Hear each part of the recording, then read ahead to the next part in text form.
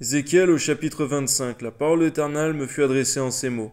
Fils de l'homme, tourne ta face vers les enfants d'Amon, et prophétise contre eux.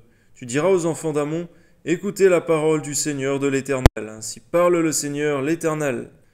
Parce que tu dis, Ha ha, sur mon sanctuaire qui était profané, sur la terre d'Israël qui était dévastée, et sur la maison de Juda qui allait en captivité, voici, je te donne en possession, fils de l'Orient, ils établiront au milieu de toi leurs enclos. On voit, Seigneur, que lorsque même ton peuple est châtié, Israël, ton sanctuaire, eh bien, les moqueurs qui se moquent aux alentours, les autres nations, ils seront châtiés terriblement, ne se moquent pas impunément de Dieu. Amen.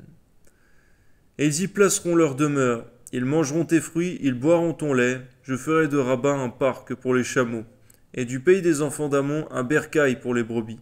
Et vous saurez que je suis l'Éternel, car ainsi parle le Seigneur l'Éternel, parce que tu as battu des mains et frappé du pied, parce que tu t'es réjoui dédaigneusement et du fond de l'âme au sujet de la terre d'Israël.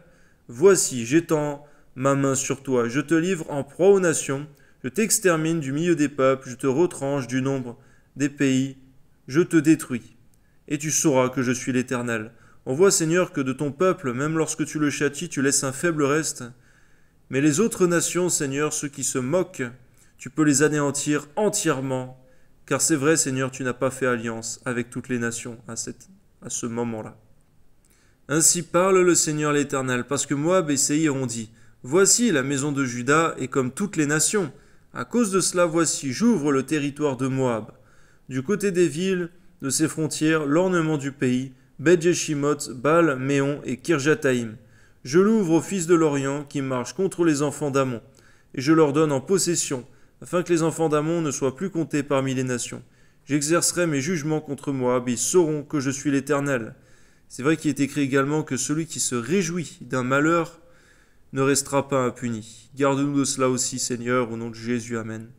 Ainsi parle le Seigneur l'Éternel, parce qu'Édom s'est livré à la vengeance envers la maison de Juda, parce qu'il s'est rendu coupable et s'est vengé d'elle. Ainsi parle le Seigneur l'Éternel. J'étends ma main sur Édom, j'en extermine les hommes et les bêtes, J'en fais un désert de Théman à dedans. Ils tomberont par l'épée, j'exercerai ma vengeance sur Édom par la main de mon peuple d'Israël. Il traitera Édom selon ma colère et ma fureur, et ils reconnaîtront ma vengeance, dit le Seigneur l'Éternel.